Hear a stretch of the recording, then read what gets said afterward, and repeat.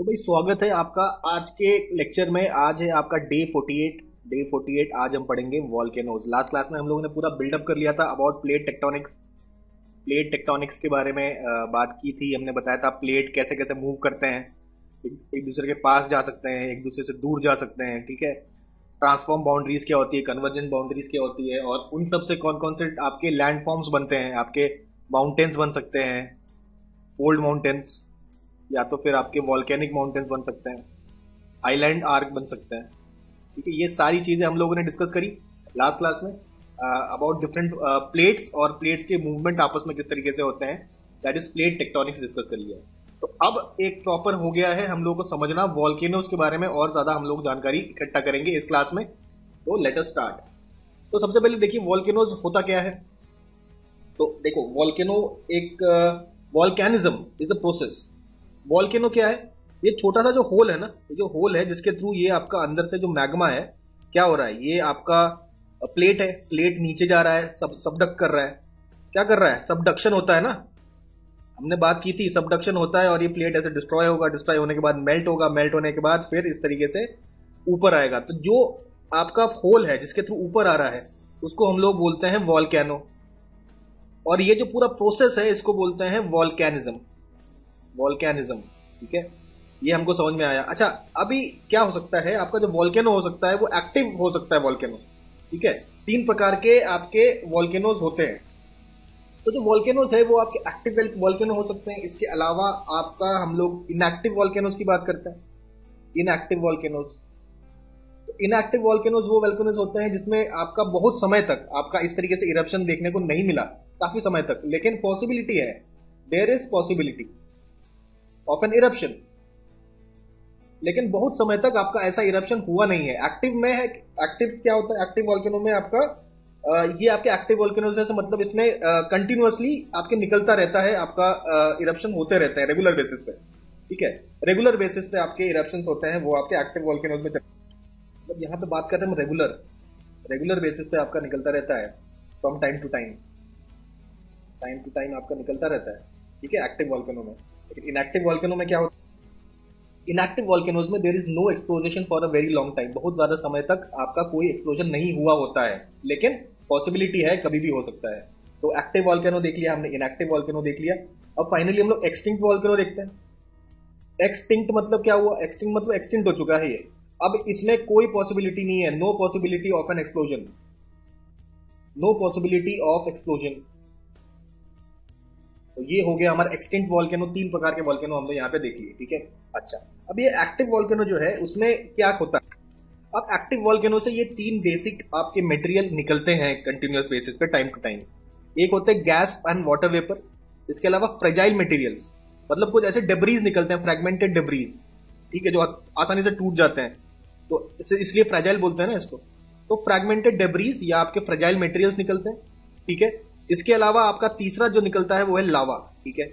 Water vapour तो समझाने की ज़रूरत नहीं होता क्या गैसेस की बात करें कौन कौन से गैसेस आपके यहाँ पे निकलते हैं? जैसे हाइड्रोजन सल्फाइड हाइड्रोजन सल्फाइड के अलावा आपका carbon disulphide carbon disulphide hydrochloric acid निकल सकता है। NH4Cl यानी कि एमोनियम क्लोराइड निकलता है। इसके अलावा कार्बन डाइऑक्साइड निकलता है नाइट्रोजन निकलता है, आपका सल्फ़र डाइऑक्साइड निकलता है। तो ये सारे गैसेस आपके निकल सकते हैं। ठीक है? Sulphur dioxide carbon dioxide ammonium chloride nitrogen HCl carbon disulphide hydrogen sulphide etcetera ये सारे आपके गैसेस निकल सकते हैं, ठीक है? वाटर वेपर तो हम जानते ही हैं फ्रेगमेंटेड मटेरियल जानते हैं। इसके अलावा लावा निकलता है। लावा और मैग्मा में क्या अंतर होता है? जब तक, यहाँ पे देखेंगे, जब तक ये आपका ज़मीन के नीचे है, यहाँ पे मेंटल में, जब तक आपके मेंटल में है ये, तब तक इसको कहेंगे मैग्मा जब ये मेंटल से बाहर निकलता है और क्रस्ट की तरफ़ आता है और क्रस्ट से बाहर निकल के सरफेस के ऊपर बहने लगता है तो ये ये इसको हम लोग कहते हैं आपका लावा ठीक है? आई होप बात समझ में आ रही होगी. लावा और मैग्मा की अब एक चीज़ और यहाँ पे ध्यान रखनी है, ये मैग्मा का हमेशा लिक्विड होना ज़रूरी नहीं है। हो सकता है यहाँ से इसने थोड़ा थोड़ा सा स्केप रूट बनाया और यहीं पे आके जम गया। ठीक है? यहीं पे आके सॉलिडिफाई कर गया। ये सॉलिड है, इसको लावा बोलेंगे क्या? नहीं। क्योंकि सरफेस पे नहीं आया। जब तक सरफेस में नहीं आएगा, इसको लावा नहीं बोल सकते तो इसको भी हम लोग मैग्मा ही बोलेंगे। एक बार ये सरफेस पे आ गया सरफेस पे आके फ्लो करने लगा, तब हम लोग इसको बोल देते हैं लावा तो लावा और मैग्मा का डिफरेंस भी समझ में आ गया वॉल्केनो और वॉल्केनिज्म का डिफरेंस भी हम लोग को समझ में आ गया होगा इसमें। तो ये लावा की बात करते हैं। तो लावा दो प्रकार का हो सकता है। सबसे पहला हो सकता है एल्कली एल्कलाइन एल्कलाइन लावा और सेकेंड आपका हो सकता है आपका एसिडिक लावा दोनों में क्या डिफरेंस है? देखिए एल्कलाइन जो आपका लावा होगा वो आपका डार्क कलर का होगा काफ़ी डार्क होगा देखने में। और एसिडिक वाला जो होगा वो आपका लाइट कलर का लाइट कलर लाइट कलर का होगा या येलोइश कलर का होगा। तो ये तो बात होगी कलर की। अब इसकी विस्कोसिटी की बात करें। अच्छा कंटेंट में इसमें जो सिलिका है दोनों में आ, सिलिका प्रेजेंट होता है लेकिन आपका जो सिलिका कंटेंट होता है इन केस ऑफ़ एल्कलाइन वो काफ़ी ज़्यादा कम होता है। और एसिडिक में सिलिका कंटेंट काफ़ी ज़्यादा हाई होता है। तो सिलिका कंटेंट हाई होने की वजह से ये काफ़ी ज़्यादा विस्कस हो जाता है। विस्कस हो जाता है या थिक हो जाता है। ठीक है? फ्लूइड नहीं रहता ज़्यादा। और सिलिका मात्रा कम होने के कारण जो एल्कलाइन लावा होता है उस वो आपका उस, उसकी विस्कोसिटी कम होती है थोड़ा फ्लूइड होता है। आसानी से फ्लो करता है। ठीक है? इसके अलावा भी यहाँ पे जो आपका एल्कलाइन लावा है उसमें आयरन मिलेगा आपको मैग्नीशियम मिलेगा। मैग्नीशियम के अलावा लाइम मिलेगा। और अगर हम एसिडिक लावा की बात करें तो उसमें सोडियम होगा, उसके बाद पोटेशियम होगा, एल्यूमिनियम होगा, फेल्सपार होगा। तो ये सब आपके मिनरल्स मिलते हैं in case of acidic lava तो हमको समझ में आ गया difference between both both lava alkaline and acidic अब एक्सप्लोजन के कई प्रकार देखते हैं। एक्सप्लोजन किस तरीके से होता है? तो एक होता है आपका वेसुवियन टाइप एक होता है प्लीनियन टाइप तो दोनों एक ही है वेसुवियन टाइप कह लीजिए या प्लीनियन टाइप कह लीजिए उसके बाद आप हवाइन टाइप देख सकते हैं। हवाई, में भी एक वॉल्केनो है उसके जैसा, और एक होता है स्ट्रोम्बोलियन वल्केनियन ये सब डिफरेंट टाइप्स ऑफ़ एक्सप्लोजन होते हैं, ठीक है? तो सबसे ज़्यादा फ्लूड कौन सा होता है? तरल। वो होता है आपका हवाइन टाइप बहुत ज़्यादा फ्लूड होता है और काफ़ी ज़्यादा लंबे डिस्टेंस तक ट्रेवल कर सकता है ये। ट्रेवल करते करते काफ़ी दूर पहुँच जाता है, ये होता है हवाइन टाइप और इसका जस्ट उल्टा आपका वल्केनियन होता है। बहुत ज़्यादा विस्कस होता है, निकलते ही सॉलिडिफाई कर जाता है। निकलते ही आपका सॉलिडिफाई कर जाता है ज़्यादा दूर तक बिल्कुल ट्रेवल नहीं करता, सबसे ज़्यादा विस्कस ठीक है? बाकी आपका प्लीनियन और स्ट्रोम्बोलियन ये दोनों ही आपके काफ़ी विस्कस होते हैं, लेकिन स्ट्रोम्बोलियन में क्या खास बात है, ये बेसाल्ट से बना होता है बेसाल्टिक होता है, और बहुत ज़्यादा एक्सप्लोजिव होता है। काफ़ी एक्सप्लोजन के साथ आपका ये होता है एक्सप्लोजन सिमिलरली आपका ये प्लीनियन भी आपका काफ़ी विस्कस होता है, इसमें भी काफ़ी एक्सप्लोजन देख सकते हैं आप, थोड़ा एक्सप्लोजिव होता है डिस्ट्रक्टिव भी होता है, और काफ़ी आप गैस और एश साथ में निकलते हुए देखेंगे। काफ़ी ज़्यादा गैस और एश का रिलीज़ करता है ये वेसोवियन इरप्शन ठीक है? तो ये देखा हमने। देखिए, यहाँ पे हम लोगों ने आपके सामने लिस्ट रख दी है। सारे एक्टिव वॉल्केनोज जो इंपॉर्टेंट है तो पूछ भी सकता है कि मैच द फॉलोइंग में भी पूछ सकता है कि कौन से कंट्री में कौन सा आपका एक्टिव वॉल्केनो है। तो ये आपका पूरा लिस्ट है, इसको ध्यान में रखिए। तो इसमें कुछ कुछ इंपॉर्टेंट जो है, उसको पढ़ेंगे हम लोग। जैसे कि बैरन आइलैंड तो बैरन आइलैंड तो आपका अंडमान निकोबार आइलैंड इंडिया में है। एक एक्टिव वॉल्केनो है, ठीक है? अच्छा इसके अलावा हम लोग बात करते हैं ये। ये काफ़ी इंपॉर्टेंट है, हवाई का वॉल्केनो क्या नाम है? इसको प्रोनाउंस करने की कोशिश करेंगे तो किले लुए किला लुए किला लुए आपका जो, आपका माउंटेन है वॉल्केनिक माउंटेन है, हवाई के अंदर, ये आपका मोस्ट एक्टिव वॉल्केनो है मोस्ट एक्टिव वॉल्केनो सबसे ज़्यादा आपका एक्टिव वॉल्केनो कौन सा है? देखिए किला है क्योंकि ये आपका चौंतीस साल से लगातार, चौंतीस साल से लगातार इसमें आपका एक्सप्लोजन हो ही रहा है कंटिन्यूसली इरप्शन होता होता चला जा रहा है। ये आपके हवाई आइलैंड्स में है, ठीक है? और कौन सी इंपॉर्टेंट है, देखते हैं। तो अगर सबसे ज़्यादा एक्टिव वॉल्केनो है, ये आपका नंबर वन है आपका किला लुए सेकेंड नंबर पे कौन आता है? सेकेंड नंबर पे आपका यहाँ पे माउंट एटना है। सेकेंड नंबर पे। Second number most active volcano is in Mount Etna that is in Italy Italy में आपका माउंट एटना है। ठीक है? इसके अलावा आपका एक और इंपॉर्टेंट है, आपका माउंट एटना हमने देख लिया। अच्छा माउंट एटना जो है वो है आपका सिसली इटली में एक आइलैंड है सिसली अभी हम लोग देखेंगे। इसको मैप में भी देखेंगे इसको, ठीक है? माउंट एटना आपका सिसली नाम के आइलैंड में है इटली के। इसके अलावा आपका लार्जेस्ट वॉल्केनो साइज़ में इरप्शन की बात नहीं कर रहा है। लार्जेस्ट वॉल्केनो इन साइज़ इस कौन सा, इनमें से कौन सा है? इसमें हवाई में ही आपका largest volcano is in Mauna Loa Mauna Loa is the largest volcano ये आपका सबसे ज़्यादा लार्जेस्ट वॉल्केनो है हवाई में है ये भी। तो हवाई में आपके सबसे ज़्यादा मोस्ट एक्टिव किला लुआ और सबसे लार्जेस्ट माउना लोआ तो ये दो हवाई के इंपॉर्टेंट आइलैंड सॉरी वॉल्केनोज हो गए। माउंट माउंट एटना की बात करी इटली में। ये भी हम लोगों ने देख लिया। अच्छा इसके अलावा आपका एक और है आपका सिसली जो आइलैंड के नॉर्थ में, सिसली आइलैंड के नॉर्थ में आपको एक और आइलैंड मिलेगा। उसका क्या नाम है? स्ट्रॉम्बोली। स्ट्रॉम्बोली भी आपका इटली में ही है, ठीक है? सिसली के ही पास है, ये भी हम लोग आगे मैप में देखेंगे। तो स्ट्रॉम्बोली वॉल्कनो भी आपका काफ़ी इंपॉर्टेंट है। आपके सिसली के नॉर्थ में है और एक स्पेशल आइलैंड है जिसका नाम है Lipari. Lipari island Lipari island आपका, ये सिसली है। सिसली के जस्ट नॉर्थ में आपका एक और आइलैंड है, ये आपका सिसली है, ये आपका लिपारी है। इस लिपारी आइलैंड में आपका स्ट्रॉम्बोली है। That is Stromboli. तो स्ट्रॉम्बोली को हम लोग, ऐसा होता है ना कि यहाँ पे कंटिन्यूसली गैसेस निकलते हैं और वो बर्न करते हैं और काफ़ी ज़्यादा रोशनी होती है बिकॉज़ ऑफ़ दिस इरप्शन तो ये हमेशा एक लाइट हाउस की तरह काम करता है। जैसे लाइट हाउस में हमेशा रोशनी होती है, उस तरीके से स्ट्रॉम्बोली में भी हमेशा आपका रोशनी रहेगा। तो इसे हम लोग कहते हैं लाइट हाउस ऑफ़ मेडिटेरेनियन सी क्या कहते हैं? Lighthouse light house of क्या बोलेंगे हम लोग? Light house of Mediterranean sea अगर पूछा जाए कौन सा है तो इसका आंसर हो जाएगा स्ट्रॉम्बोली तो इसको बिल्कुल ध्यान में रखना है। नेक्स्ट हम लोग बात करते हैं, यहाँ पे एक ओजस डेल सलाडो है। साउथ अमेरिका में है चिली और अर्जेंटीना के बॉर्डर में आपका ओजस डेल सलाडो है एक्टिव वॉल्केनो है। तो ये आपका is the highest volcanic mountain of the world ये हाइएस्ट है। तो आपने देखा, एक है हाइएस्ट हाइएस्ट है ओजस दल सलाडो चिली और अर्जेंटीना के बॉर्डर में साउथ अमेरिका में है। ये आपका हाईएस्ट है। ऊंचाई में सबसे ऊँचा। ठीक है? साइज़ में सबसे बड़ा अगर बात करें तो ये आपका मौना लो हो जाएगा। और सबसे ज़्यादा जो आपका मोस्ट एक्टिव वॉल्कनो है, वो आपका किला लुआ हो जाएगा। सेकंड आपका माउंट एटना और लाइट हाउस ऑफ़ मेडिटेरेनियन सी किसको बोलते हैं? स्ट्रॉन्ग बोली को बोलते हैं। तो ये सारी चीज़ें हम लोग को ध्यान में रखनी है। ठीक है? इसके अलावा आपका एक अंटार्कटिका में भी है। अंटार्कटिका में कौन सा है? यहाँ पे देख सकते हैं आप माउंट एरीब्रूस माउंट एरीब्रूस आपका अंटार्कटिका में है अंटार्कटिका में वाला है, और कौन से आइलैंड में है ये भी याद रख सकते हैं। देखिए आर रास आइलैंड रास आइलैंड है, यहाँ पे आपका माउंट एब्रूस है। It is the active volcano of Antarctica ठीक है माउंट एब्रूस देख लिया। अच्छा अच्छा जापान में कौन सा है? देखिए, जापान में आपका फूजियामा है माउंट फूजियामा अच्छा इसके अलावा बाकी सारे एक बार हम लोग और डिस्कस कर लेते हैं। देखिए, अर्टा आले अर्टा आले आपका इथियोपिया में है, फिएगो फियोगो आपका गौटेमाला में है, मैकडोनल्ड आइलैंड और हर्ड हर्ड आइलैंड, ये आपका अंटार्कटिका में है, ठीक है? Next Lakagigar Lakagigar is in Iceland उस लोग पूछ भी सकता है ये लीका गिगार आइसलैंड में है, La Palma, Canary Island Canary Island, ठीक है? ये स्पेन का ही पार्ट है, ठीक है? टाइडे, ये भी कनारी आइलैंड में है, टाइडे और ला पाल्मा, कैनारी आइलैंड्स में है। फिर आपका देखिए मेरापी, ठीक है, मेरापी। मेरापी आइलैंड किधर है? देखिए, इंडोनेशिया में you have the Merapi island. इसके अलावा पोपो काटेपेटल पोपो कटेपेटल ये क्या, कहाँ पर है? मेक्सिको में। Popocatepetl Mexico.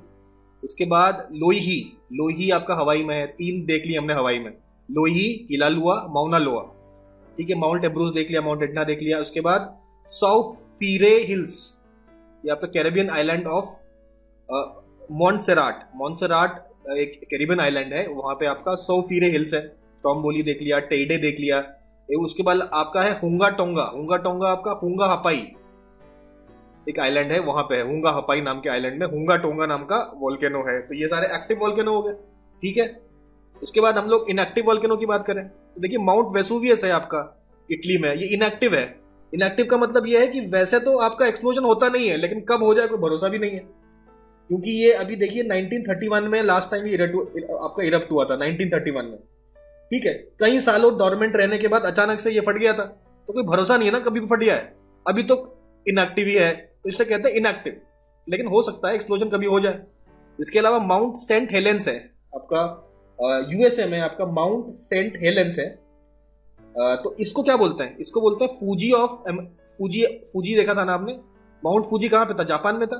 तो इसे कहते हैं फूजी ऑफ़ अमेरिका अमेरिका का फूजियामा वो है सेंट माउंट सेंट हेलेंस ठीक है? इसके अलावा हमने बात करी किली मानजारो की। किली मानजारो आपका तंजानिया तंजानिया में है, ठीक है? तो ये भी देख लिया। एक्सटेंट माउंटेन्स की बात करें तो आपका एक माउंट कुलाल है आप कीनिया में। माउंट किलीमांजारो तंजानिया में। अब मैं इसको दोनों में क्यों लिखा? है एक्सटेंट में भी लिखा इनएक्टिव में भी लिखा। ये तो दिक्कत वाली बात है। देखिए एक्चुअली आपके माउंट किलीमांजारो के तीन माउथ है, जहाँ से एक्सप्लोजन होता है। तो उसमें दो माउथ तो ऐसे हैं, जो कि आपके एक्सटेंट है, वहाँ होने के चांसेस नहीं है। लेकिन एक माउंट है, वहाँ पे, भाई चांसेस है, हो सकता है। मतलब हुआ है रिसेंट पास में। तो इसलिए इसको इनएक्टिव में भी गिन ले रहे हैं हम लोग, और एक्सटेंट में भी गिन ले रहे हैं, ठीक है? इसके अलावा चिंबो राजो ज़्यादा इसमें दिमाग लगाने की ज़रूरत नहीं है, ठीक है? याद रखिए माउंट किलीमांजारो ठीक है? चिंबो राजो चिंबो राजो किधर है? चिंबो राजो इक्वेडोर में है। एक्सटिंक्ट है। उसके बाद ईरान में दो है आपका। दमावंद और कोह सुल्तान। कोह सुल्तान और दमावंद, ये आपके दो आपके वॉल्केनिक माउंटेन्स है इन ईरान तो आई होप ये सारे नाम हम लोग को याद रखने हैं। इसमें कोई ऑप्शन नहीं है। याद रखना पड़ेगा। ठीक है? इसके अलावा एक और है, यहाँ पे लिखा नहीं मैंने, पोपा। पोपा इज़ इन म्यांमार ये भी एक एक्सटेंट वॉल्केनो है। म्यांमार में आपका पोपा है। It is also an extant volcano तो ये सारे याद रखेंगे हम लोग। ठीक है? सारे एक्टिव वॉल्केनोज एक्सटिंक्ट वॉल्केनोज और इनएक्टिव वॉल्केनोज कौन कौन से कंट्रीज़ में है, जो जो हमने आपकी बताया है, इन स्लाइड्स में, वो याद रखने हैं। देखिए, बात करते हैं हम लोग पायरोक्लास्टिक डेब्रीज क्या होते हैं। तो ये टर्म है, एक बार डिस्कस करिए। देखिए, इतना धुआँ निकल रहा है ना यहाँ पे। ये धुआँ जो है इसमें क्या क्या चीज़ें हैं? आपका हॉट रॉक्स है। हॉट रॉक फ्रेगमेंट्स टूटे हुए रॉक के फ्रेगमेंट्स हैं इस धुएँ में। और आपके ये हॉट गैसेस हैं, ठीक है? एंड एंट्रैप्ड एयर इसके बीच में एयर भी एंट्रैप हुआ है। और ये काफ़ी स्पीड से देखिए, आपके माउंटेन में नीचे की तरफ़ बढ़ते चले जा रहे हैं। ठीक है? High speeds in thick grey to black turbulent clouds मतलब ये पूरे टर्बुलेंट क्लाउड्स है ना? हर जगह देखिए दीज आर क्लाउड्स और ये क्लाउड जो है, हवा में तो उड़ नहीं रहे ये आपका ज़मीन से टच होके जा रहे हैं। That hug the ground ground से टच होके ये सारे जो गैस ऑफ़ क्लाउड है जिसमें आपके रॉक फ्रैगमेंट्स है, आपके गैस हैं रॉक फ्रैगमेंट्स हैं डेबरीज हैं ये सब ज़मीन के साथ लग के जब इस तरीके से मूव करते हैं, इसको बोलते हैं पायरोक्लास्टिक डेबरीज ठीक है टर्म है, ध्यान रख सकते हैं। ठीक है? नेक्स्ट बात करते हैं, अब हम लोग कंसेप्ट पे आते हैं। देखिए, ये केमिकल कंपोजिशन वाला स्लाइड तो पहले भी देखा था हमने तो उसमें इनर कोर बताया था आउटर कोर बताया था, वो आपका निकल इससे होता है। उसमें आयरन होता है निकल होता है। आयरन निकल और सिलिका होता है आउटर कोर में। इसको जाने दीजिए। अब बात करते हैं मेंटल ओशन और कॉन्टिनेंट्स की। देखिए, ध्यान ध्यान दीजिएगा यहाँ पे। ये हम लोग पढ़ चुके हैं, दोबारा एक बार रिवाइज कर रहे हैं हम लोग। देखिए ऑलिवाइन है मेंटल में क्या है? ऑलिवाइन है। ऑलिवाइन हाईली फ्लूड है। उसके बाद ओशन ओशनिक क्रस्ट आपका बैसाल से बनता है। ठीक है? आपका क्या होता है? ओलिवाइन जो रॉक है, वो जब आपका ठंडा होता है तो बेसाल्ट में कन्वर्ट हो जाता है। तो नीचे जैसे मैग्मा है, नीचे आपका जैसे मैग्मा है मैग्मा बाहर आया। किसके? ओशन के नीचे। ये ओशन के नीचे सारा काम हो रहा है। ओशन के नीचे मैग्मा बाहर आया, जो कि क्या है? ओलिवाइन है। ठंडा होकर क्या बनेगा? बैसाल्ट बनाएगा। और इसीलिए आपका जो ओशनिक क्रस्ट है बेसाल्ट का बनता है। लेकिन अब जब कॉन्टिनेंट्स की बात हो आएगी तो क्या होगा? ये जो ओशनिक क्रस्ट होगा, ये आपका कॉन्टिनेंटल क्रस्ट के नीचे इस तरीके से सबडक्ट करेगा। सबडक्ट करने की वजह से, अब ये बेसाल्ट है ना, ये बैसाल्ट गर्मी के कारण बाहर निकलेगा। बैसाल्ट आपका गर्मी के कारण बाहर निकलेगा और क्या बनाएगा? देखिए बैसाल्ट आपका एंडेसाइड बनाता है। एंडेसाइड फिर आपका ग्रेनाइट बनाता है। तो या तो एंडेसाइड या तो ग्रेनाइट बनेगा बैसाल्ट के मेल्ट होने की वजह से। तो देखिए, अब ये जो आपका बैसाल्ट है, ये जब मेल्ट होगा तो कॉन्टिनेंटल क्रस्ट बनाएगा आपका। ग्रेनाइट और एंडेसाइड बनाएगा। एंडेसाइड हमने क्या बोला था? ये आपका था ना? हम लोगों ने डिस्कस किया था। ये आपका सबडक्ट हो जाता है। ये आपका कॉन्टिनेंट नीचे सबडक्ट हो जाता है। तो ये आपका बेसाल्ट जो है एंडेसाइड में कन्वर्ट होता है और यहाँ पे मेल्ट करता है। मेल्ट करने के बाद धरती को फाड़ के बाहर निकलता है। क्यों? ये तो लाइट है ना। Basalt is heavy basalt is heavy और एंडेसाइट इज़ लाइट तो एंड ये ये जो, क्योंकि ये लाइट है, इसलिए ऊपर की तरफ़ आता है और इसलिए आपको वॉल्केनिक वॉल्केनिक इरप्शन आपको देखने को मिलते हैं। ये हम लोग डिस्कस कर चुके हैं, ठीक है? तो ऑब्वियसली यहाँ पे एक चीज़ और ध्यान में रखना, जो एक्स्ट्रा चीज़ हम लोग पढ़ रहे हैं, वो है आपके जो बेसाल्टिक इरप्शन है ना, वो ज़्यादा वॉयलेंट नहीं होते, हल्के फुल्के होते हैं, धीरे से बाहर आ गए। मतलब हल्के फुल्के बाहर आ रहे हैं, ज़्यादा एक्सप्लोजन नहीं कर रहे हैं। लेकिन जो एंडेसाइट है एंडेसाइट है, वो बहुत तेज़ी से ऊपर आएगा। आपका सबडक्ट वाला जो इतना आपका मटेरियल है, वो जब आपका मेल्ट होता है तो अब वो बर्दाश्त नहीं कर पाता उसको ऊपर आना है तेज़ी से और बहुत ही स्पीड से ऊपर आता है और ऐसा ब्लास्ट करता है। तो एंडेसाइटिक जो इरप्शन होते हैं वो आपके काफ़ी ज़्यादा वॉयलेंट होते हैं। और बेसाल्टिक इरप्शन आर रिलेटिवली काम तो आपको समझ में आया होगा जो वॉल्केनिक इरप्शन एकदम धीरे धीरे निकलते हैं ना वो बेसाल्ट के होते हैं और जो ऐसे एक्सप्लोजन के साथ निकलते हैं बिल्कुल explosive they are andesite I hope ये बातें क्लियर हो, हो गई होंगी। अब हम आगे देखते हैं जैसे ये। ये देखिए, बहुत ही धीरे धीरे बह रहा है ना। बहुत धीरे धीरे बह रहा है तो ये क्या है? बेसाल्टिक है। दिस इज़ बेसाल्टिक एक्सप्लोजन और ये क्या है? देखिए, तेज़ी से मतलब निकल रहा है। ये देखिए, तेज़ी से आपका काफ़ी वायलेंट एक्सप्लोजन हो रहा है। तो वायलेंट एक्सप्लोजन मतलब क्या हो जाएगा? एंडेसाइट होगा। ठीक है? एंडेसाइटिक एक्सप्लोजन होगा ये। तो देख हमने यहाँ पे लिख दिया एंडेसाइटिक एक्सप्लोजन तो हमको समझ में आ गया कौन सा वॉल्केनो धीरे धीरे फटेगा, कौन सा बिल्कुल मतलब ज़मीन फाड़ के निकलेगा एकदम। एक्सप्लोजन के साथ निकलेगा, ये देख लिया हमने। अब बात करते हैं हम लोग एक एक प्रकार के वॉल्केनिज्म की। पहला देखा हमने, देखिए mid oceanic ridge volcanism mid oceanic ridge के नीचे क्या है? आपका मेंटल है ना? मेंटल में ओलिवाइन होगा। ओलिवाइन ऐसे समुद्र के ऊपर बाहर आएगा। अगर समुद्र के ऊपर इसके से बाहर आ जाएगा तो आपके मिड ओशनिक रिज आप देख चुके हैं। वहाँ पे इस प्रकार के जो वॉल्केनिज्म पाए जाते हैं, वो आपके कैसे होंगे? बैसाल्ट से बने होंगे कि नहीं होंगे? भाई, नीचे ओलिवाइन है। ऑलिवाइन मेल्ट होकर क्या बनेगा? बैसाल्ट ही तो बनेगा। तो बैसाल्ट ऊपर आ जाता है। और आपका यहाँ पे तैरता है तो ये जो है आपका लावा बैसाल्टिक लावा होता है। इसे कहते हैं मिड ओशियनिक रिज बैसाल्ट ठीक है? अच्छा मिड ओशियनिक रिज में मिड ओशियनिक रिज दिखाने की ज़रूरत तो नहीं है। ऑलरेडी हम लोग लास्ट क्लास में देख चुके हैं। ठीक है? अटलांटिक ओशन के बीच में आपका इस तरीके से रिज बनता है। तो ऐसा कहते हैं कि 75 percent of all volcanic activity पूरे दुनिया में जितनी भी वॉल्केनिक एक्टिविटी होती है उसका 75 तो ज़मीन के नीचे हो रहा है, ज़मीन के नीचे इन द सेंस ओशन के नीचे हो रहा है। कहाँ पे? मिड ओशनिक रिज में हो रहा है। मिड ओशनिक रिज में सबसे ज़्यादा वॉल्केनिक आपका इरप्शन देखने को मिलते हैं। ठीक है? कैसे होते हैं? बेसाल्टिक होते हैं। यानी कि स्लोली स्लोली निकलते हैं। बहुत ज़्यादा वायलेंट नहीं होते। ठीक है? नेक्स्ट हम लोग बात करते हैं मेडिटेरियन मेडिटेरेनियन वॉल्केनिज्म ये देखिए मेडिटेरेनियन सी है। ये पूरा मेडिटेरेनियन सी के आसपास आप कई सारे इंपॉर्टेंट वॉल्केनो देख रहे हैं ना? देखिए यहाँ पे। ये देखिए ये आपका सिसली का आइलैंड है। ये आपने माउंट एटना बताया था। उसके ऊपर जस्ट, उसके नॉर्थ में, सिसली के नॉर्थ में हमने बताया था, स्ट्रोम्बोली है। दिख रहा होगा। ठीक है? उसके अलावा एक और है, देखिए। मार्सिली। मार्सिली। मार्सिली आपका एक्चुअली टिरेनियन सी है ना? इस टिरेनियन सी के नीचे आपका ये वॉल्केनो है अंडर ओशन ठीक है? इसके अलावा यहाँ देखिए माउंट वेसुवियस है। माउंट वेसुवियस के पास आपका एक सिटी है नेपल्स नेपल्स सिटी के पास आपका माउंट वेसुवियस है। ठीक है? तो आप देख रहे हैं ना, ये मेडिटेरियन सी में कई सारे आपके वॉल्केनिक रीजन आपको देखने को मिलते हैं, ठीक है? और ये क्यों होता है? ये इसलिए होता है, ये आपका इसलिए देखने को मिलेगा, क्योंकि देखिए, Mediterranean is active volcanoes Mediterranean में एक्टिव वॉल्केनोज है। कहाँ पे? इटली में। देखा हमने इटली में कई सारा है। Italy and Aegean sea. तो कहा है आपका एगियन सी? ये आपका एगियन सी है। इस एगियन सी के आसपास भी आपको ये एगियन सी है। ठीक है? इस एगियन सी के आसपास भी आपको काफ़ी वॉल्केनिक एक्टिविटी देखने को मिलती है। तो Mediterranean sea has active volcanoes बताया हमने। कहाँ पे? आपका इटली के पास और एगियन सी के पास। The volcanism is due to African plate moving under the European plate भाई, यहाँ पे क्यों क्या होता है? दो प्लेट्स हैं, आपके यूरोपियन प्लेट और अफ्रीकन प्लेट है। याद करिए। ये देखिए आप डायग्राम ये आपका क्या है? अफ्रीकन प्लेट है। ये आपका यूरेशियन प्लेट है। आपस में कहा मिल रहा है? दोनों का मिलने का जगह क्या है? यही मेडिटेरियन सी वाला एरिया तो है। तो ऑब्वियसली यहाँ पे आपको वॉल्केनो देखने को मिलेंगे। वॉल्केनोज देखने को मिलेंगे अर्थक्वेक भी देखने को मिलेंगे। तो ये सारी चीज़ें देखने को आपको यहाँ पे मिलेगी। तो इसी कारण से आपका because there is African plate जो कि यूरोपियन प्लेट के नीचे घुस रहा है सबडक्ट कर रहा है। कौन सबडक्ट कर रहा है? आपका African plate is subducting under the European plate इसीलिए आपको ऐसे वॉल्केनो देखने को मिलते हैं एक्टिव वॉल्केनो तो माउंट एटना ये आपका यूरोप का मोस्ट एक्टिव वॉल्केनो है। भाई वर्ल्ड का सेकंड नंबर का एक्टिव एक्टिव वॉल्केनो है। हवाई के किलेलुआ के बाद माउंट एटना आपका सेकंड नंबर पे देख लिया हमने। World tallest volcano it is one of the one of the world tallest volcano Sicily island में सबको पता है स्ट्रॉम्बोली के बारे में हम जानते हैं। लाइट हाउस ऑफ़ मेडिटेरेनियन बोलते हैं, ठीक है? किधर है स्ट्रॉम्बोली स्ट्रॉम्बोली आपका देखा हमने कहाँ पर है? यहाँ पर है स्ट्रॉम्बोली माउंट एटना आपका ये सिसली आइलैंड पे है। इसके नॉर्थ में आपका यहाँ पे स्ट्रॉम्बोली देखने को मिला हमें। तो देखिए light light house of Mediterranean आपका स्ट्रॉम्बोली हो गया। उसके बाद mount Vesuvius only active volcano in mainland Europe mainland बाकी सारे आइलैंड्स में है ना? आपके मेन लैंड यूरोप में कौन सा है? केवल एकमात्र माउंट वेसोवियस है। Only active active volcano in mainland Europe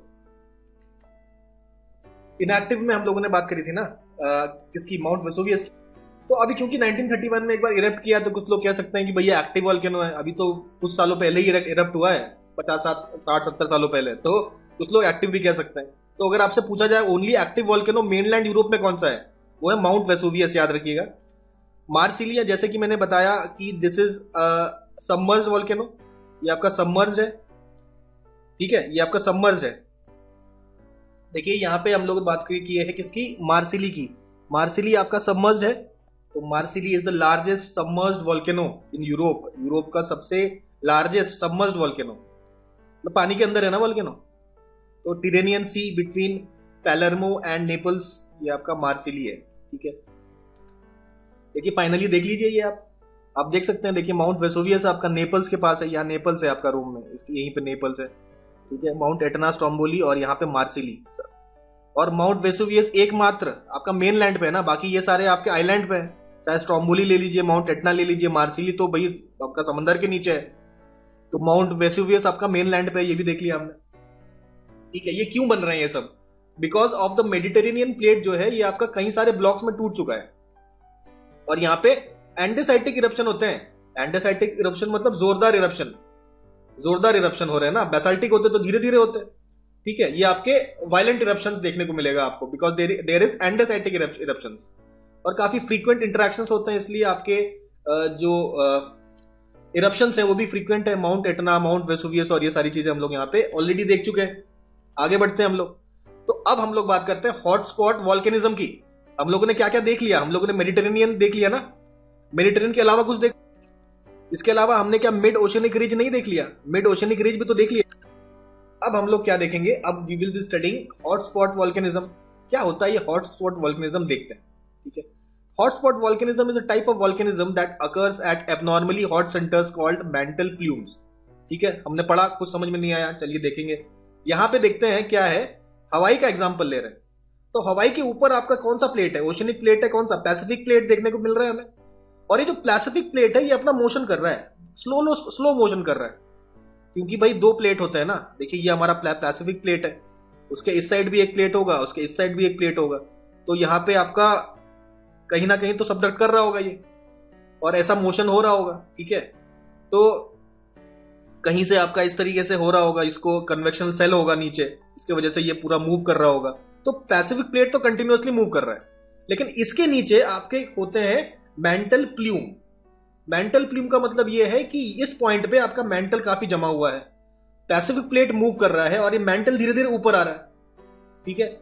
ये धीरे धीरे ऊपर आ रहा है, ऊपर आकर एक माउंटेन बना दिया इसने, एक माउंटेन बना दिया। लेकिन ये प्लेट तो मूव कर रहा है।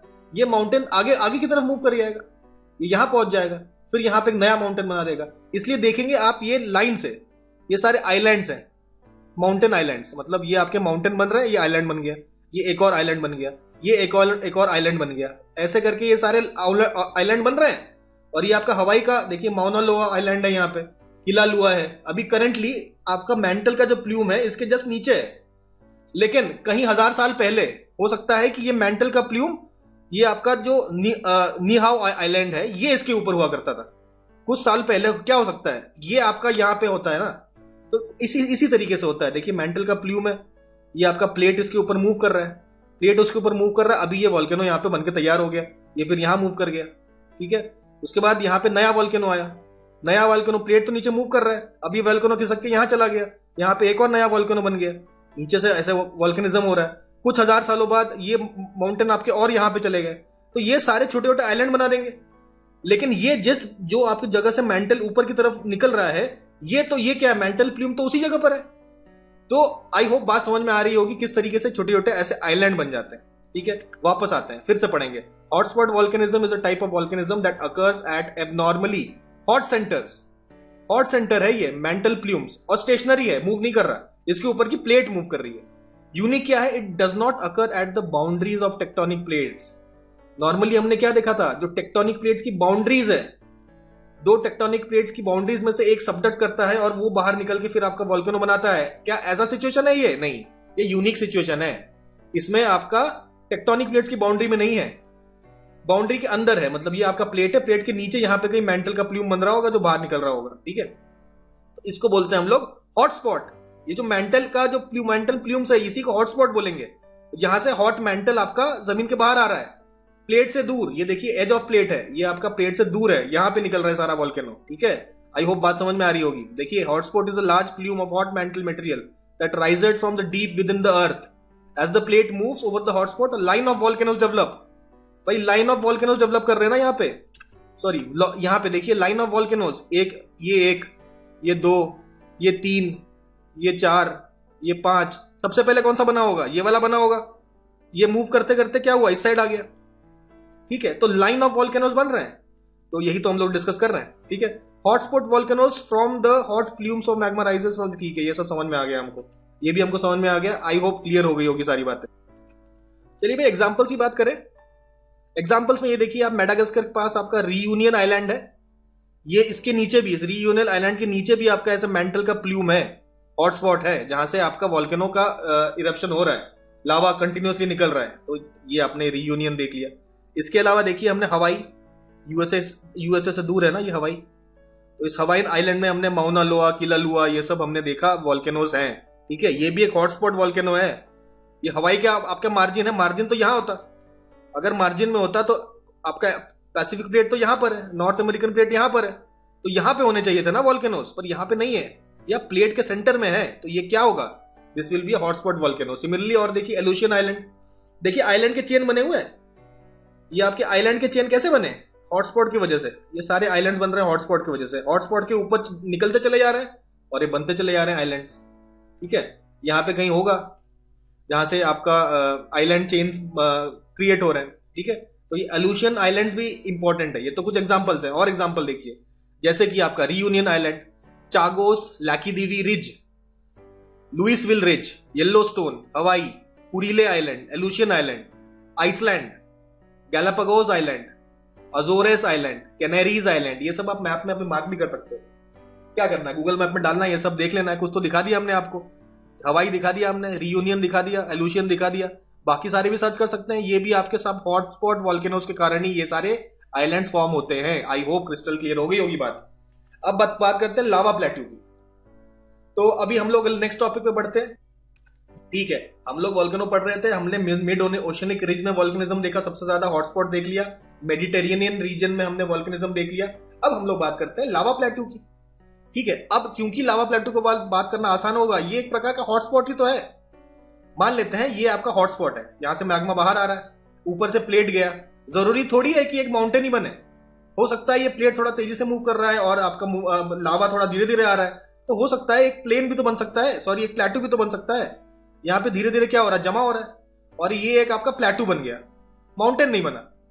ठीक है? तो आपके lava plateaus are land form created by volcanic activity भाई वॉल्केनिक एक्टिविटी कारण तो हो रहा है। अंदर से मैग्मा बाहर आ रहा है। लेकिन माउंटेन नहीं बना रहा प्लेटू बना रहा है। तो भाई लावा प्लेटू हो गया। ठीक है? They are formed when many successive eruptions of lava flow through the vents and cracks of the earth surface the lava flows are made up of basalt and harden into layers over time to create the lava plateau ठीक है? क्या बोल रहा है? कुछ नहीं बोल रहा है। इसमें क्या है? कोई दिक्कत नहीं है। देखिए, ये आपका प्लेट है। प्लेट के नीचे आपका ऐसा मेंटल है। ऐसा बाहर निकल रहा है। ठीक है? तो एक तो केस हो सकता है ये जो बाहर निकला, ये प्लेट आपका मूव कर रहा है इसके ऊपर। ये आपका धीरे धीरे मूव करता है ना आपका? ओशनिक प्लेट ले ले या कॉन्टिनेंटल प्लेट ले ले। तो लेटेस्ट से ये ओशनिक प्लेट है। ओशनिक प्लेट से ऐसे बाहर निकला। यहाँ से ये तोड़ के वॉल्केनो से वॉल्केनो मतलब बीच में कोई भी उसको लूज जगह मिलेगी, वहाँ से बाहर निकल जाएगा। उस होल जहाँ से बाहर निकल रहा है, उसे वॉल्केनो बोलेंगे, ये सब जानते हैं। तो इस तरीके से बाहर आ रहा है। लेकिन मान लेते हैं ये बहुत बड़ा ही फ्लूड है लावा तो ये स्प्रेड कर जा रहा है यहाँ पे, ठीक है? एक और केस हो सकता है ना, कि यहाँ से आपका लावा निकला और आपका माउंटेन फॉर्म कर दे। तो ये आपका हॉटस्पॉट वॉल्केनो हो गया, ठीक है? लेकिन ये ज़रूरी नहीं माउंटेन फॉर्म करे, हो सकता है स्प्रेड कर है लावा की विस्कोसिटी कम है और ये स्प्रेड कर रहा है तो ये क्या बना देगा? लावा प्लेट्यू बना देगा। लावा प्लेट्यू बना देगा। आई होप बात यहाँ पे समझ में आ रही होगी। बहुत ही ज़्यादा मतलब डीपली जाके हम एक्सप्लेन करने की कोशिश कर रहे हैं। तो ये लावा प्लेट्यू बना दिया आपका। ठीक है तो यही होता है लावा प्लेट्यू तो लावा प्लेट्यू भी हम लोगों ने हमारा देख लिया। नया टॉपिक ये भी कंप्लीट आई होप बात समझ में आ गई होगी। अगर समझ में नहीं आएगी, आगे देखिए, और क्लियर हो जाएगा। कुछ बचेगा ही नहीं डाउट देखिए, आपका एग्ज़ाम्पल देख लेते हैं। देखिए अंतरिम प्लेटू है आपका नॉर्दर्न आयरलैंड में डेकन प्लेटू, हमारे इंडिया का, ठीक है? और कोलंबिया प्लेटू, यूनाइटेड स्टेट्स में, ये सब आपका ये because of this lava plateau है कोलोराडो प्लेटू, ये भी आपका लावा प्लेटू ठीक है? ये भी यूएसए में है, कोलोराडो, कोलंबिया दोनों यूएसए में है। अंतरिम प्लेटू आपका नॉर्दर्न आयरलैंड में है, ठीक है? डेकन प्लेटू इंडिया में, इसको थोड़ा अच्छे स्टडी करें, ठीक है? बिल्कुल क्रिस्टल क्लियर हो जाना चाहिए। देखिए डेकन प्लेटू का फॉर्मेशन देखते हैं, सारी चीज़ें एकदम क्लियर हो जाएँगी। देखिए, ये आपका क्या है? पहले था आपका पैनजिया बड़ा सा कॉन्टिनेंट था। उसके बाद ये थोड़ा थोड़ा दूर गया। लॉरेशिया बन गया नॉर्थ में। नीचे आपका गोंडवाना गोंडवाना लैंड बन गया। गोंडवाना लैंड भी हमने देखते हैं, यहाँ पे साउथ अमेरिका है, आपका अफ्रीका है, ठीक है? अंटार्कटिका है, और ये रहा हमारा इंडिया कुछ हज़ार सालों बाद, ठीक है? कुछ हज़ार सालों बाद ये थोड़े से और अलग अलग हुए। अब ये जो इंडिया जो यहाँ से है धीरे धीरे ऊपर जा रहा है। नॉर्दर्न मूव करेगा। ये आपका ये आपका इंडिया है, ठीक है? इंडियन सब कॉन्टिनेंट यहाँ पे दिख रहा है आपको। ये आपका ऊपर की तरफ़ मूव कर रहा है। ठीक है? ये आपका अफ्रीका है। ये देखिए, ये आपका अफ्रीका है। और अफ्रीका से जुड़ा हुआ था इंडियन कॉन्टिनेंट। ये आपका ऊपर की तरफ़ मूव कर रहा है। ऊपर की तरफ़ मूव किया और ऊपर की तरफ़ मूव किया, यहाँ पे आ गया। उसके बाद फाइनली जाके ये इंडियन जो सब कॉन्टिनेंट है, ये जाके आपका जुड़ गया आपका यूरेशियन प्लेट से। ठीक है? और हमारा इंडिया अभी करंट जो सिचुएशन है, ये हमको समझ में आया। तो ड्यूरिंग दिस मूवमेंट ये जो आपका इंडिया मूव कर रहा था, यहाँ से लेके यहाँ तक जाने में, इसके बीच में यहीं पर रीयूनियन आइलैंड मिला इसको। यहाँ पे क्या हॉटस्पॉट है? रीयूनियन के पास। हमने देखा ना रीयूनियन आइलैंड के पास यहाँ हॉटस्पॉट है। इस हॉटस्पॉट के ऊपर जब इंडिया ट्रैवल कर रहा था, इस हॉटस्पॉट के ऊपर जब इंडिया ट्रैवल कर रहा था तो यहाँ पे आपको डेकन प्लेटू बना। ये देखिए, यहाँ पे इस एरिया में आपका यहाँ पे लावा जो है, इकट्ठा होके प्लेन बनता चला जा रहा है। ठीक है? ये देखिए, नीचे से मैग्मा निकल रहा है, ऊपर से देखिए इंडियन प्लेट इंडियन प्लेट गया, यहाँ से इसने लावा बाहर निकला और स्प्रेड करने लग गया। स्प्रेड करने लग गया। ये हर जगह पूरा स्प्रेड कर गया लावा और ये जाके फाइनली इंडिया आगे की तरफ़ मूव किया। यहाँ पे स्प्रेड कर दिया। इंडिया फिर ऐसे आगे मूव करता है। आगे मूव करने के बाद आपका ये यूरेशियन प्लेट यूरेशियन प्लेट में जाके इस तरीके से मतलब फिक्स हो जाता है। ठीक है? लेकिन इस वाले पॉइंट पे तो आपका लावा कहाँ से कहाँ से आया था? जब ये रीयूनियन रीयूनियन आइलैंड के ऊपर ये इंडिया था, तब ये वाला जो डेकन प्लेटू है फॉर्म हो गया था because of the Reunion island hotspot यहाँ पे आपका जो हॉटस्पॉट था इसके, इससे इस तरीके से मैग्मा निकल रहा था और स्प्रेड करके ये लावा प्लेटू बना देता है। और यहीं से हमारा बनता है क्या? डेकन प्लेटू डेकन प्लेटू यहीं से बनके तैयार हो जाता है। आई होप यहाँ पे ये बात समझ में आ गई होगी। डेकन प्लेटू का फॉर्मेशन क्यों हुआ? बिकॉज़ ऑफ़ हॉटस्पॉट कहाँ का हॉटस्पॉट रियूनियन आइलैंड का। आई होप ये कई बार रिपीट कर चुका हूँ मैं। ये एकदम क्रिस्टल क्लियर हो गया होगा। नहीं हुआ तो दोबारा सुन लीजिए ये। ठीक है? आगे मूव करते हैं हम लोग नेक्स्ट टॉपिक पे। अब बात करते हैं हम लोग कौन कौन से लैंड फॉर्म्स कौन कौन से लैंड फॉर्म्स बनाते हैं because of volcanic eruption volcanic eruption की वजह से कौन कौन से लैंड फॉर्म्स तैयार होते हैं, ये देखेंगे। अब लैंड फॉर्म कौन से बनेंगे? देखिए, आपके दो प्रकार के लैंड फॉर्म बन सकते हैं। एक हो सकता है इंक्लूसिव एक होता है एक्सक्लूसिव ये देखिए, आपका प्लेट है।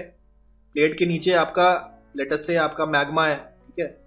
और मैग्मा यहाँ से बाहर आया। हो सकता है अगर ये बाहर आ गया, अगर ये बाहर आ गया तो तो आपका बनाएगा एक्सक्लूसिव ठीक है? बाहर आके क्या बना सकता है? या तो आपका ऐसा माउंटेन बना देगा, या तो आपका प्लेट्यू बना देगा। क्या हम लोग वॉल्केनिक प्लेट्यू अभी पढ़ के आए हैं? तो ये तो कंप्लीट हो गया इसके बारे में नहीं सोचना, ये पढ़ चुके हैं हम लोग, ठीक है? हमने देखा हॉटस्पॉट के पास आ जाए जब मूव करता है तो इस प्रकार से वॉल्केनिक प्लेटूज देखने को मिलेगा हमें, ठीक है? या तो आपके माउंटेन बना देगा। अब माउंटेन कितने प्रकार के हैं, ये हम लोग आगे देखेंगे, ठीक है? आपके कितने प्रकार के आपके वॉल्केनिक माउंटेन्स हैं, ये हम लोग आगे स्टडी करेंगे तो इसमें कोई दिक्कत नहीं है। और इंट्रूसिव क्या होता है? वो कभी कभी ऐसा होता है कि भैया मैग्मा नीचे है आपके, ऊपर प्लेट है, लेकिन ये ज़मीन के ऊपर आ नहीं पाया। मैग्मा यहीं पे आपका क्या हो गया? फ्रीज कर गया। क्रस्ट आपका सरफेस पे आ नहीं पाया। सरफेस के नीचे आपका ये क्रस्ट में ये हो गया सॉलिडिफाई। तो इसको बोल देंगे intrusive forms intrusive land forms ठीक है? तो इंट्रूसिव लैंड फॉर्म्स पढ़ेंगे और वॉल्केनिक माउंटेन्स हम लोग पढ़ेंगे एक्सक्लूसिव में। वॉल्केनिक प्लेटूज हम लोग ऑलरेडी कवर कर चुके हैं, ठीक है? आई होप इतनी बात समझ में आ गई होगी। चलिए, कहानी स्टार्ट करते हैं हम लोग। किसकी? इंट्रूसिव आपके लैंड फॉर्म्स की। इंट्रूसिव लैंड फॉर्म देखिए इंट्रूसिव लैंड फॉर्म्स की अगर हम बात करें तो यहाँ पे हमें समझ में आया ना? मैग्मा आता है, बीच में अटक जाता है। डायग्राम देख लेते हैं, समझ में आ जाएगा। ये देखिए मैग्मा यहाँ से निकला, यहीं पे अटक गया, यहीं पे अटक गया, ये यहीं पे अटक गया, ऊपर नहीं पहुँच पाया। ऊपर पहुँच जाता तो उसको लावा बोल देते हम लोग। ये अंदर मैग्मा वाले सिचुएशन में ही फंस के रह जाता है और यहीं पे सॉलिडिफाई कर जाता है। तो इसे कहते हैं इंट्रूसिव लैंडफॉर्म ठीक है? अब देखिए अलग अलग प्रकार के लैंडफॉर्म होते हैं। एक होता है batholith large granitic rock bodies that form the core of many mountains ठीक है? एक होता है बैथोलिथ एक होता है प्लूटॉन्स ठीक है? तो बैथोलिथ प्लूटॉन्स का बड़ा वर्जन है। डायग्राम में देखते हैं। क्योंकि डायग्राम में यहाँ दिखा हमें, ये आपका प्लूटॉन है। ये आपका यहाँ पे देखिए प्लूटॉन ये आपका बैकोलिथ साइज़ में बड़ा कौन सा है? बैकोलिथ छोटा कौन सा है? प्लूटॉन एक ही बात है। बैटोलिथ आपका साइज़ में थोड़ा बड़ा होता है। ठीक है? बड़े साइज़ का आपका आकार का अगर ये मैग्मा अटक जाता है, आपका सॉलिडिफाई कर जाता है ज़मीन के अंदर तो बैथोलिथ बोल देते हैं। ठीक है? देखा हमने large granitic rock bodies that from core of कई बार ये जो बैथोलिथ होते हैं माउंटेन के कोर बनते हैं। माउंटेन का जो कोर है, वो बैथोलिथ फॉर्म करता है कई बार। ठीक है? फिर बात करते हैं हम लोग सिल्क की और डाइक की। सिल क्या है? हॉरिजॉन्टल स्ट्रक्चर डाइक है वॉल लाइक स्ट्रक्चर ठीक है? तो ये देख लीजिए, देखिए, ये आपका सिल है। सिल क्या है? हॉरिजॉन्टल स्ट्रक्चर हॉरिजॉन्टल स्ट्रक्चर जो ऐसा फ्रीज कर गया। और ये आपका डाइक क्या है? आपका वर्टिकल स्ट्रक्चर यानी कि वॉल लाइक स्ट्रक्चर तो ये डाइक हो गया, ठीक है? सिसिल और डाइक आप देख सकते हैं। इसके अलावा और क्या होता है? एक होता है laccolith dome like structure minor part of dome like batholith ठीक है? ये छोटे आकार के आपके बैथोलिथ होते हैं, जो कि ऐसे डोम शेप के पाए जाते हैं। डोम शेप का अगर पाया जाएगा, देख लेते हैं भाई। लैकोलिथ देख रहे हैं आप? डोम शेप का है ये?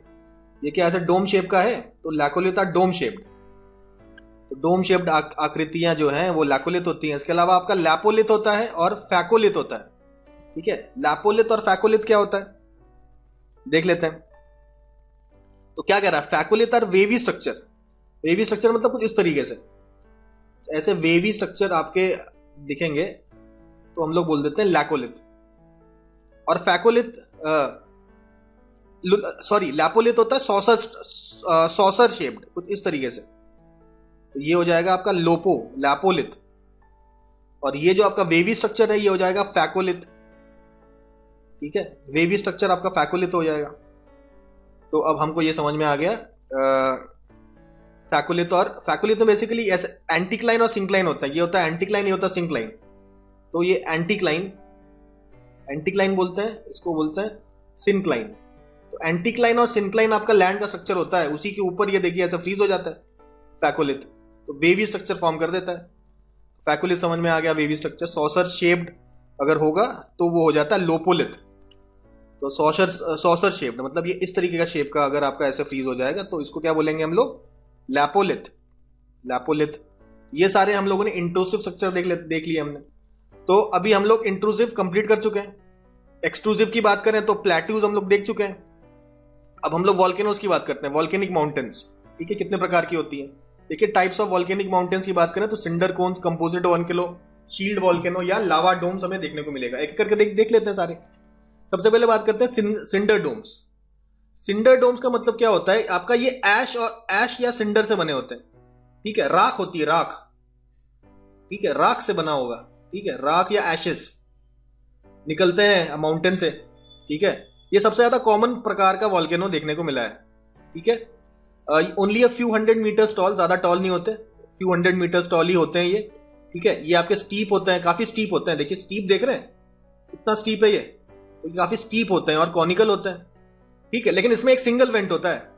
कई सारे वॉल्केनो आपको मल्टीपल वेंट देखने को मिलेगा कि ये देखिए यहाँ से भी निकल रहा है यहाँ से भी निकल रहा है उसके बाद आप यहाँ से भी आपका वॉल्केनो निकल गया। तो मल्टीपल वेंट्स देखने को मिलते हैं कई जगह लेकिन यहाँ क्या है केवल आपके सिंगल वेंट ही देखने को मिलेगा। ज़्यादा एक्सप्लोजिव होते नहीं है ज़्यादा विस्कोसिटी भी इनकी इनमें नहीं होती तरल होते हैं ठीक है। तो ये आपके आ, इस प्रकार के जो कोन्स होते हैं इसे कहते हैं cinder cones. Mainly formed of ash and cinder ज़्यादातर ये एश के बने होते हैं। ठीक है? एश या सिंडर्स के बने होते हैं। राख राख का बना बना हुआ पूरा जो माउंटेन है, उससे बेसिकली ये ज़्यादा आपका फॉर्म होता है। ठीक है? तो हम लोगों ने देख लिया सिंडर कोन्स के बारे में। नेक्स्ट बात करते हैं हम लोग कंपोजिट वॉल्केनोज की। देखिए कंपोजिट वॉल्केनोज में देखिए कई सारे ऐसे मुँह हैं। एक मुँह यहाँ है, एक मुँह किनारे हैं। तो ऐसे लेयर बाय लेयर बनते हैं कंपोजिट वॉल्केनोज पहले एक लेयर बन गया, अंदर से फिर निकला, एक और लेयर इस तरीके से फॉर्म हो गया। अंदर से फिर निकला, एक और लेयर इस तरीके से फॉर्म हो गया। तो ऐसे बनते हैं कंपोजिट वॉल्केनोज इसे बोलते हैं स्ट्रैटो वॉल्केनोज बोलते हैं। लेयर बाय लेयर फॉर्म हो रहा है ना, एक लेयर के ऊपर दूसरा लेयर तीसरा लेयर ऐसे करके बन रहा है। तो ये स्ट्रैटो वॉल्केनोज बोलते हैं। काफ़ी टॉल होते हैं ये। काफ़ी टॉल होते हैं। हाइट इनकी काफ़ी ज़्यादा होती है देखने को देखने को मिलेगा आपको। ठीक है? Made up of layers of lava ash pumice tephra the viscous lava lava कैसा होता है? विस्कस होता है यहाँ का। ठीक है? ये विस्कस लावा है। बनता है आपका कंपोजिट वॉल्केनो में। Cause them to tall peaks काफ़ी ज़्यादा टॉल होते हैं। राउंडेड होते हैं कोन्स कोन्स आपके ऐसे राउंडेड कोन्स होते हैं और टॉल पीक्स होता है. तो हाइट में सबसे ज़्यादा होगा ये कंपोजिट वॉल्केनो ठीक है, हर एक नई इरेप्शन के साथ एक नया लेयर बनता चला जाता है और ज़्यादा ये ऊँचा होता चला जाता है. ये बात हो गई कंपोजिट वॉल्केनोज की. विस्कोसिटी कितनी होती है? विस्कोसिटी हाई होती है. विस्कोसिटी इसकी काफ़ी हाई होती है और हाइट भी आपका काफ़ी ज़्यादा हाई होता है. ये देख लिया हमने. फिर बात करते हैं हम लोग शील्ड वॉल्केनोज की. शील्ड वॉल्केनोज ये इतने हाई नहीं होते. इसका लावा काफ़ी ज़्यादा फ्लूड होता है। तो इसका लावा निकला आराम से फैल रहा है। ये भी आराम से फैल रहा है, फिर लावा निकला, आराम से फैल रहा है। देखिए, इसका जो हाइट होता है, जो ऐसे वॉल्केनोज है, उसका जो हाइट होता है, ये इतना ज़्यादा नहीं होता, काफ़ी कम होता है। और जो लावा होता है, आपका विस्कस नहीं होता। जैसे पिछले वाले कंपोजिट में देखा था, काफ़ी विस्कस होता था। लेकिन इसका लावा होता है, काफ़ी फ्लूड ठीक है? These volcanoes typically are take the form of a shield एक शील्ड की तरह, ऐसे ही होते थे ना शील्ड लड़ाई लड़ाई में जो लड़ने जाते थे तो ऐसे शील्ड होते थे ना जिससे हम लोग लड़ाई लड़, लड़ते थे। तो शील्ड के जैसे वो देखने को मिलता है आपको ठीक है? तो शील्ड की तरह देखने को मिलता है इसलिए इनको शील्ड वॉल्केनोज बोलते हैं। ज़्यादा स्टीप नहीं होते आसानी से चढ़ जाओगे आप ठीक है? और लावा इनका काफ़ी ज़्यादा फ्लूड होता है। नेक्स्ट बात करते हैं लावा डोम्स की। लावा डोम्स की बात करें ये आपके हेमिस्फेरिकल शेप के हो सकते हैं या इरेगुलर शेप के भी आपके हो सकते हैं ठीक है? तो देखिए, इस प्रकार के लावा डोम्स आपको देखने को मिलेगा, जहाँ से ऐसा लावा बाहर निकला। लेकिन दिक्कत क्या है? इसमें आपका ज़्यादा अंदर से ज़्यादा गैस और अंदर से प्रेशर बिल्डअप नहीं होता। ज़्यादा गैस और प्रेशर बिल्डअप नहीं होता तो धक्का देने की कैपेसिटी जो है, वो कम होती है। तो लावा जो है lava domes form in the magma accumulates in the region near the vent vent के पास ये मैग्मा आपका यहाँ पे इकट्ठा होता चला जा रहा है। इरप्शन के टाइम पे the lava is too viscous काफ़ी ज़्यादा विस्कस है। देखिए, आपका लावा आपका काफ़ी विस्कस है। ठीक है? लेकिन अंदर से कोई प्रेशर नहीं आ पहुँच रहा है। प्रेशर काफ़ी कम है अंदर से। तो ये जो लावा है, बाहर नहीं निकल पाता है और इसके मुँह के आसपास इकट्ठा होता रहता है। इकट्ठा रहता होता है। Lava domes typically do not have enough gas और प्रेशर टू इरप्ट एक्सप्लोसिवली तो एक्सप्लोजिव एक्सप्लोजिव इरप्शन का इसमें कैपेसिटी ज़्यादा नहीं होती। तो ऐसे को बोलते हैं हम लोग लावा डोम्स। तो कंपोजिट वॉल्केनो से कैसे डिफरेंट है? देखिए कंपोजिट वॉल्केनो में देखिए, आपका विस्कस तो था, लेकिन अंदर से प्रेशर भी काफ़ी ज़्यादा बिल्ड हो रहा था ना। तभी ज़्यादा एक्सप्लोजन के साथ बाहर निकल रहा था। लेकिन यहाँ लावा डोम्स में ऐसा देखने को नहीं मिलेगा आपको। तो आई होप बात समझ में आई होगी। अंदर से आपका प्रेशर बिल्डअप नहीं हो रहा है मैग्मा को धक्का देने के लिए। और विस्कस है तो इकट्ठा हो जा रहा है आपके वेंट के पास। तो ये लावा डोम्स हो गए। लावा डोम्स के बाद हम लोग बात करते हैं कैल्डेरा कैल्डेरा क्या होता है? कैल्डेरा कैल्डेरा क्या होता है? देखिए, आपका ये वॉल्केनो है, ठीक है? ये आपका वॉल्केनो का मुँह छोटा सा मुँह है, ठीक है? अंदर से वॉल्केनो वॉल्केनिक इरप्शन हुआ। लेकिन इतने ज़्यादा तेज़ी से हुआ कि इसने इसका पूरा मुँह ही साफ़ कर दिया। ये पूरा एरिया को इसने गड्ढा बना दिया पूरा। Caldera is a large depression ये देखिए, आप देख रहे हैं फ़ोटो में देख सकते हैं ना, इतना बड़ा गड्ढा बना दिया। इतना तेज़ी से एक्सप्लोजन हुआ कि इसका जो वेंट्स हैं, जो आपका जो भी माउंटेन था ना, जो भी आपका माउंटेन था, उसका जो ऐसे ये मुँह था, ये पूरी तरीके से डिस्ट्रॉय हो जाएगा। और डिस्ट्रॉय होके ये बड़ा एक गड्ढा बना देगा, ठीक है? इसी गड्ढे को हम लोग लार्ज डिप्रेशन को बोलते हैं caldera caldera is a large depression that forms in a volcano erupts and collapse erupt किया और कोलैप्स कर गया। During an eruption magma is expelled from the magma chamber underneath the volcano when the magma chamber empties the sides on the top of the volcano collapse जब अंदर से ऐसे फटता है ना तो साइड साइड से ये कोलैप्स कर जाता है और ऐसे बड़े बड़े गड्ढे बना देते हैं। तो ये बात होगी हमारे कैलडेरा की। तो इसी के साथ ही हम लोगों ने आज का लेक्चर इसी के साथ ही हम लोगों ने फिनिश कर दिया है। अब हम लोग वॉल्केनोज आज पूरा कंप्लीट कर लिए हैं। इसके आगे हम लोग कल पढ़ेंगे। तो थैंक यू वेरी मच